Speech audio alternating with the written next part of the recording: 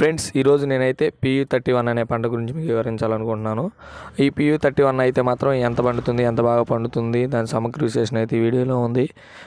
ఈ పంట అయితే కృష్ణా జిల్లాలో ఎక్కువగా వాడతారు. ఈ మినుము పంట కొంతమంది రైతన్నలకి అయితే ఆశాజనకంగా ఉందని వివరిస్తున్నారు. దీని సమగ్ర విశేషణ ఈ వీడియోలో ఉంది. ఆ రైతన్న మాటలు కూడా తెలుసుకునే ప్రయత్నం అయితే ఈ వీడియోతో ద్వారా మేము చేశాం. ప్లీజ్ సబ్స్క్రైబ్ రైతన్నకు తోడుగా.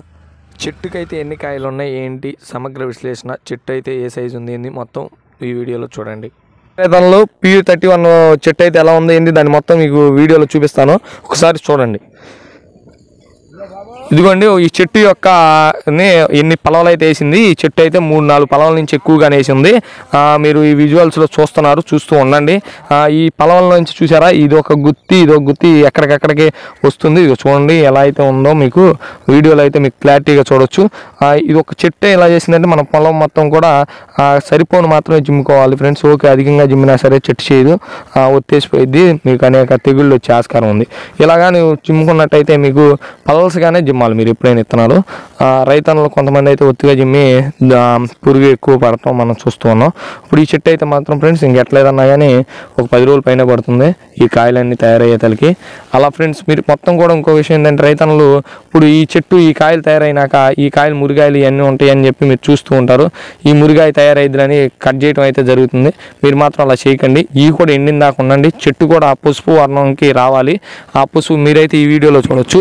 కొంతమంది ఫ్రెండ్స్ ఈ రకమైన చెట్టును అయితే మీరు కట్ చేయడం అయితే పీకేసేసి ఎండబెడతాం అయితే జరుగుతుంది. అది మాత్రం చేయకండి. ఈ కాయ మురిగాయ కదా ఎండిద్ది అనుకుంటారు. ఇది చివరికి తప్పేసిపోవడం అలా జరుగుతుంది. ఇది కూడా పూర్తిగా ఇలా ఈ ఇలా ఎండిపోయిన తర్వాత మాత్రమే పేకండి రైతు. ఫ్రెండ్స్ మీకు మన రైతన్నకు యూట్యూబ్ ఛానల్ నుంచి ఇది వచ్చిన సలహా అయితే నేను తలుచుకుంటున్నాను హాయ్ హలో నమస్తే. నేను మీ పవన్. ఈరోజు రైతన్నకు యూట్యూబ్ ఛానల్కి స్వాగతం సుస్వాగతం. ఏం లేదు ఈరోజు మనం కృష్ణా జిల్లాలో ఉన్నాం. పివి థర్టీ వన్ విత్తనాలు ఇక్కడ రైతన్నలు బాగా వేశారు దాని యొక్క పంట ఎక్కువ దిగుబడి అయితే మనం చూస్తున్నాం వీడియోల్లో చూపిస్తాం మీకు. ఇప్పుడు ఆ రైతన్నతో మనం మాట్లాడే ప్రయత్నం చేద్దాం. ఇప్పుడు వెంకటేశ్వరరావు గారితో ఉన్నాం. ఆయన ఏ విధంగా పండించాడు ఏ విధంగా చేశాడు?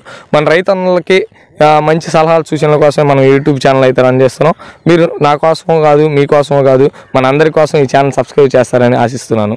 Please subscribe Raitanna YouTube channel. అప్పుడు వెంకటేశ్వరరావు గారితో మాట్లాడే ప్రయత్నం చేద్దాం. సార్ చెప్పండి అసలు ఇప్పుడు మీరు అసలు ఈ వంగడాన్ని ఎలా ఎక్కడి నుంచి తీసుకున్నారు? విజయవాడ నుంచి అండి. విజయవాడ నుంచి విజయవాడ నుంచి తీసుకున్నారు.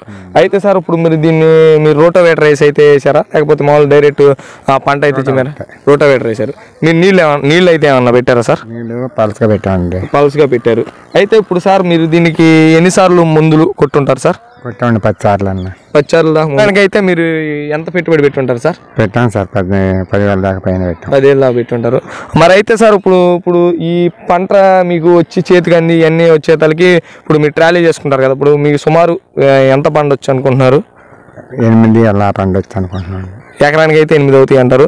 ఇప్పుడు ఈ పంటను తీసుకెళ్ళి ఇంకొక నెలలో రైతన్నలు వస్తూ ఉంటారు కదా మీకు వేరే వేరే ప్రదేశాల నుంచి వచ్చి మీకు దగ్గర నుంచి కొనుక్కెళ్ళడం అలా చేస్తూ ఉంటారు కదా దాన్ని ఇప్పుడు మీరు ఆ టయానికి కూడా ఇదే రేట్ ఇస్తారా రైతన్నలకి లేకపోతే ఎక్కువగా తీసుకునే అవకాశం ఉందా? ఎక్కువగా లేదండి అదే రేట్. అదే రేట్ మీద ఇస్తారు.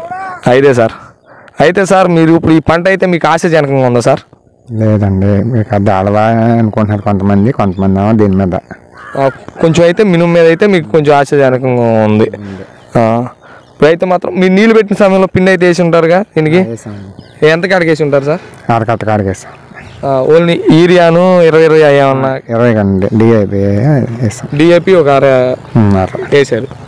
అది సార్ మీరు రైతులకి ఇంకేమైనా చెప్పాలనుకుంటున్నారు? దీంట్లో నుంచి సలహాలు సూచనలు? సలహాలు ఏం లేవండి. థ్యాంక్ యూ సార్ వెంకటేశ్వర గారు. ఈ పంట అయితే మాత్రం ఈ రైతన్నులకు మాత్రం కొంచెం ఆశాజనకంగానే ఉందని చెప్పుకోవచ్చు.